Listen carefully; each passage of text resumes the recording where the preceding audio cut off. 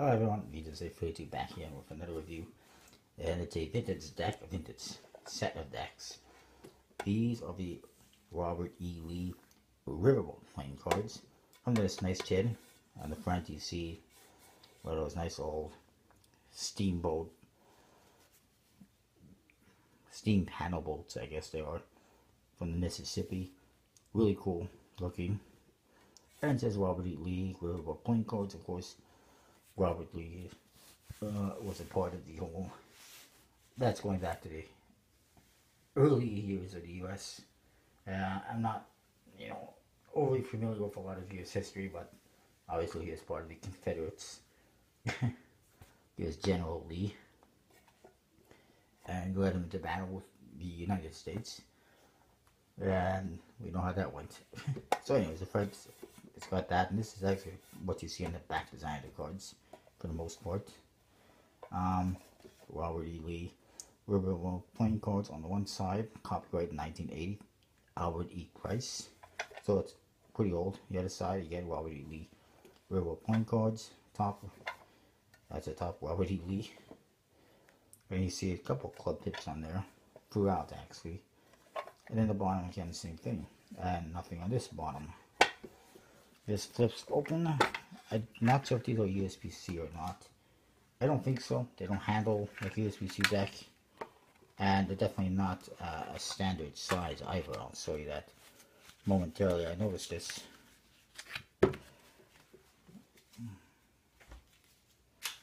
This is a normal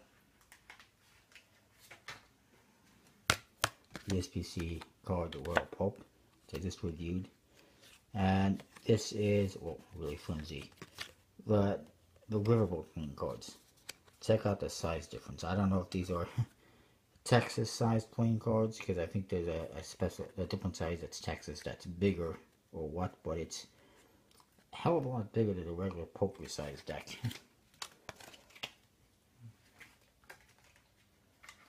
so anyways, um,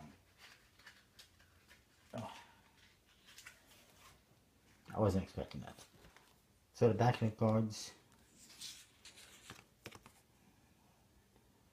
it says Robert E. Lee with the playing cards. You see the bolt. It's nice details. It's gold.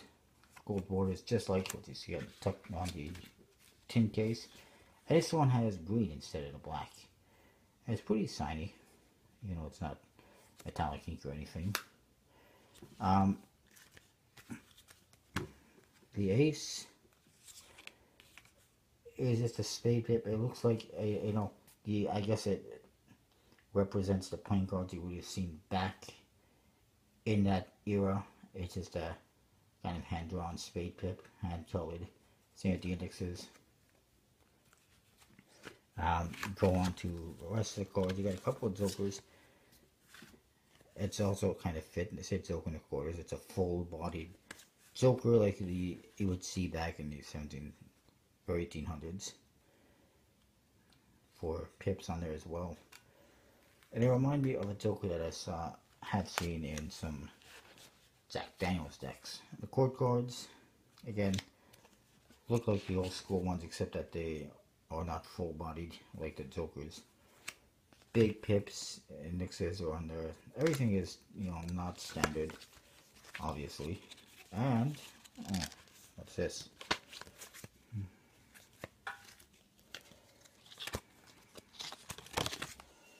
Couple bonus cards in here. I just found one says, a thoughtful gesture.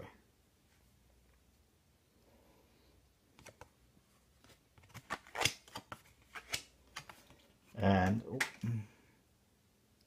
this is an extra card because there's not many card games you can play with 51 cards, but you sometimes lose a card. So they threw in this card in case you do lose one to replace it.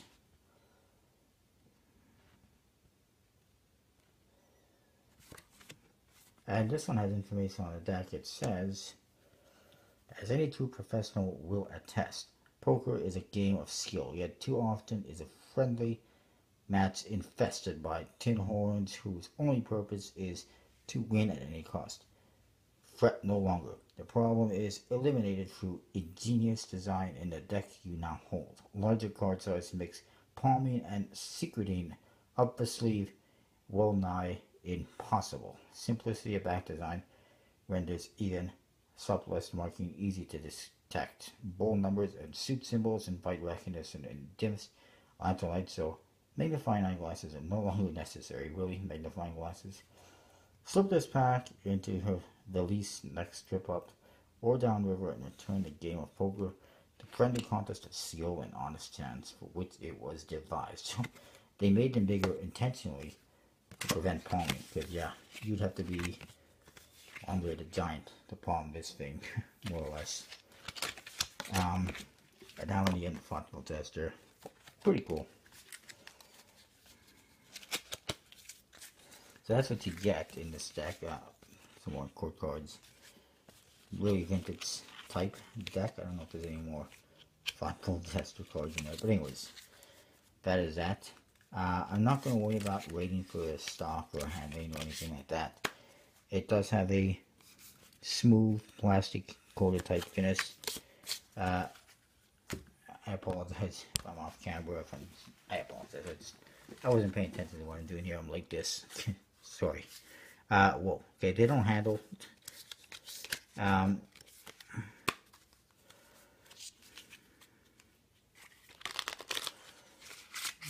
and a very flimsy stomp, as you can see. I mean, I can bend this card in half if I wanted to. And, I mean, the art looks fine. Although, I'm usually not a big fan of one-way back designs. But, um, I'm not going to worry about rating this deck because it's just, it is what it is. It's a vintage deck. It's different. Fairly standard, so won't worry about that too much. That is what I've got. Um, I think you can actually get these on Amazon, but I got this on Etsy. Wasn't bad. It was 12 bucks for shipping. Can't go wrong with that. Anyways, that is what I got. The Robert EV decks. Today's review. And I will see you next time. Another one. Don't forget to check out collectableplayingcards.com. Use the code VJSA free to get 10% off your order. Comment, like, rate, all that fun stuff. Subscribe. And I will see you next time. Thanks for watching.